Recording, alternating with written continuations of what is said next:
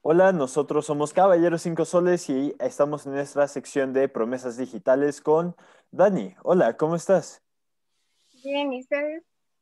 Bastante bien, emocionados por conocerte más, por saber más de ti, de lo que haces. Y Eder, empezamos con las preguntas. Claro que sí, buenas noches a todos los suscriptores de Caballeros 5 Soles. Agradecemos la presencia de Dani en nuestra sección Promesas Digitales y la primera pregunta sería, Dani, hemos visto pues tu contenido de TikTok, de Instagram y vemos que pues das mucho, muchos mensajes de positivismo, de acercarse a Dios. Que la primera pregunta sería, ¿cómo, ¿cómo lo piensas tú? O sea, ¿tienes un calendario o amaneces y dices, mm, creo que este tema es bueno para hablarlo? Pues sí, más o menos. Como quien nace, intención hacerlo. Ok. Eh, mi duda aquí es, ¿de dónde sacas como este material? Porque te despiertas un día, decides, ah, voy a hablar sobre este tema y después investigas un poco sobre el tema o tú con lo que ya sabes empiezas a hablar sobre él o, e incluso he visto que usas como muchos audios de los que ya están en TikTok, entonces eh, empiezas a buscar el audio adecuado o qué es lo que haces para empezar a hacer los videos? Pues a veces veo los contenidos de otros TikTokers cristianos y de ahí me baso, pero luego no sé cómo que me llega a mí, son originales míos. Correcto. Eh, mi segunda pregunta sería, ¿Tú cómo ves, este, obviamente la pandemia ha afectado mucho a, la sociedad, no solo a la sociedad mexicana, de diferentes países. Obviamente, pues el positivismo que tú das, pues ayuda mucho a que la gente trate de salir adelante en cuestión de la parte anímica. ¿Tú crees que en algún momento que la pandemia termine, estos mensajes que tú das puedan bajar de pues ahora sí, de experiencia para las demás personas, que lleguen a menos, que lleguen a menos personas? No creo porque no todos, todo mi contenido no se basa solo en eso. Como que varía. Y pues no empecé a hacerlo desde la cuarentena, sí es cierto. Que siguiendo con este tema de la cuarentena y que has empezado a hacer videos con, con todo esto, ¿cómo lo has experimentado tú en un aspecto como más personal, pero también en este tema del contenido en línea? Ya nos comentaste que empezaste a hacer videos por todo esto, pero ¿qué más has estado haciendo por todo esto? Mm, pues he estado leyendo más la Biblia y yo de hecho no empecé a ser cristiana hace, hace muy poco. O sea, fue apenas ahorita hace como cinco o seis meses más o menos.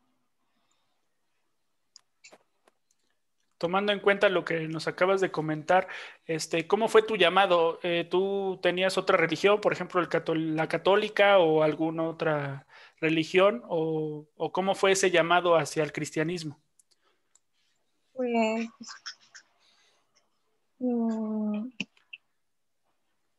yo no tenía otra religión, yo era atea.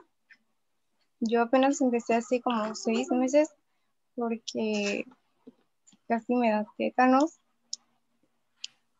Y pues ahí Dios me llamó y yo hacía TikToks mundanos y en ese momento yo ya empecé a hacer TikToks cristianos para él. Correcto. Ok, y con esa intención de ya nos dices, recibiste un llamado, ¿Qué es lo que viene más a futuro? ¿Cuáles son tus siguientes planes para seguir desarrollando, no sé, contenido o estudiar ciertos temas? Pues yo ahorita voy a seguir haciendo ese tipo de contenido y pues no sé lo que Dios diga. Correcto. Este, mi pregunta sería como en dos partes. La primera es si tienes algún versículo o algún discípulo como, como Juan, como Pedro, algún, algún personaje que tú te bases o, tengas más confianza en él para comentar algo en redes sociales. Y la segunda parte sería si tú tienes una iglesia en específico en la que vas a estar después de que esté la pandemia eh, manejar, no sé, algún tipo de coro algún llamado a, a, que muchos más este, vean la palabra de Dios? Pues yo ya estaba en una iglesia cristiana y por lo de la pandemia la cerraron, pero yo sí planeo seguir yendo a eso. Okay. ¿Y has recibido cierto tutoreo en este periodo, en el, en el, contenido que haces, o todo es por tu por cuenta propia?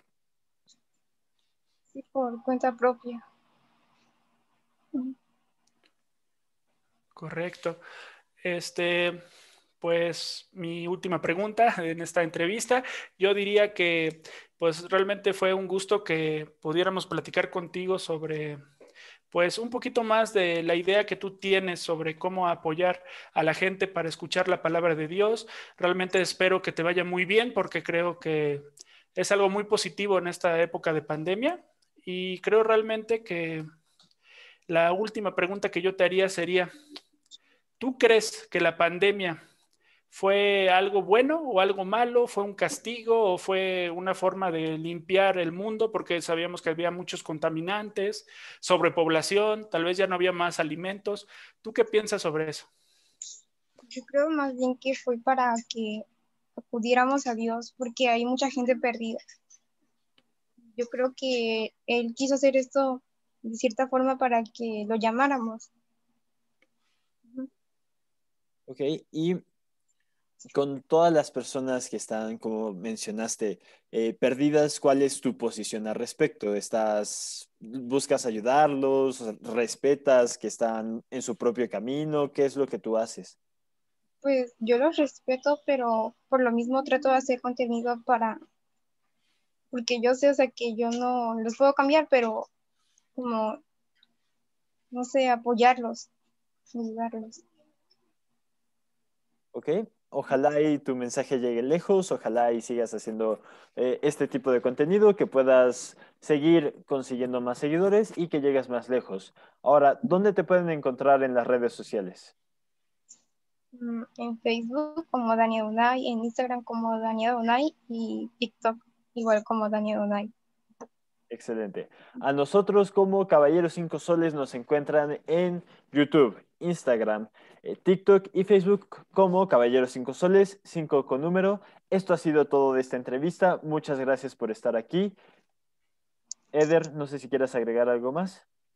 Eh, no, nada más que realmente esperemos, Dani, que te vaya muy bien, que, que, la palabra de Dios siga. Obviamente, yo espero que todas las religiones algún día se puedan unir en cosas positivas, ya que pues eso valdría mucho la pena.